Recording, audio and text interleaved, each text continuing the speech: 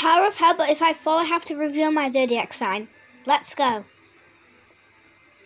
So I really don't want to fall because I don't want hate being on my zodiac sign because lots of people just misunderstand us. Gonna be honest. Um, so I'm doing good so far. Really hoping not to fall.